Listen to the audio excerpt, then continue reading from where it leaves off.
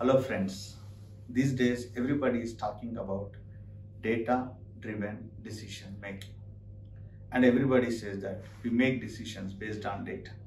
And all our decisions are smarter because those decisions are based on the data. But is anybody checking whether the data is accurate, whether the data is complete, whether the decisions that you are making based on the data, it is governed, it has the right quality of it. That's why saying that we have an enterprise with data driven decision making or saying that we are a smart data enterprise is not important. What is important is that having the right quality data is important. So maybe rather we must say that quality data driven decision making because uh, DDDM has been very popular. But is really data the sacred thing? Is the data that has been properly audited? Is the data that has been properly captured?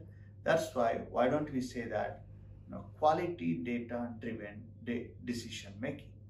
And that makes a huge difference because just the word quality can add a lot more to your data, lot more meaning to your data. Thus, we always recommend that you analyze the data, you assess the data, you check the quality of the data from the completeness perspective, from the referential perspective, from the provenance perspective. And all these things are well written in standards such as ISO 8000 standard. And then if you want to exchange the data with other systems, then it is ISO 29002 standard. And if you are, would like to have different formats for that, then ISO 22745 standard. There are various standards and specifically for the data and the master data there are standards. You know iso 80110 is a critical standard.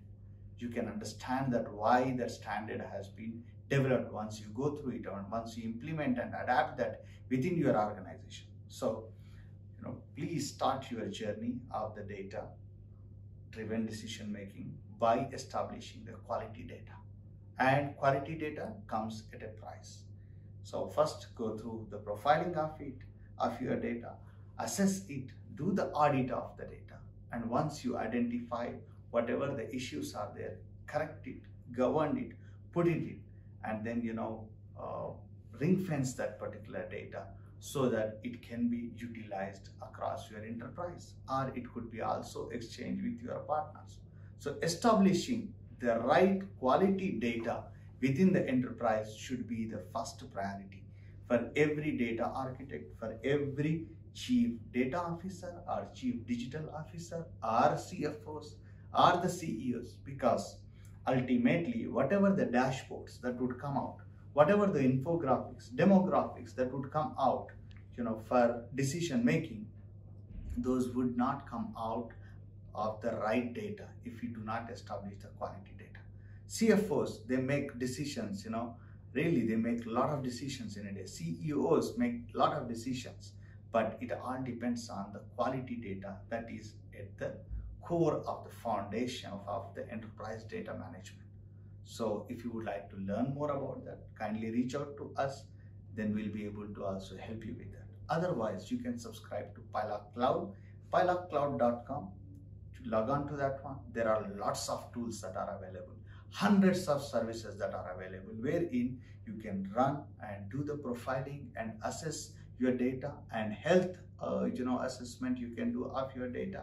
Any master data you can do that which is powered by a lot of ai and ml techniques and which is powered by you know lot of uh, augmented mdm approaches. Thank you very much